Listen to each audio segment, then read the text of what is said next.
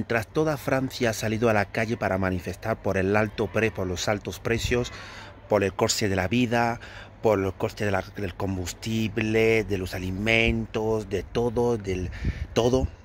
Mientras Francia ha decidido salir a la calle, en España la única manifestación que se anuncia es contra Isabel Díaz Ayuso. ¡Qué país de pandereta! Más tontos que boteínes. En ese país hay más tontos que boteínes.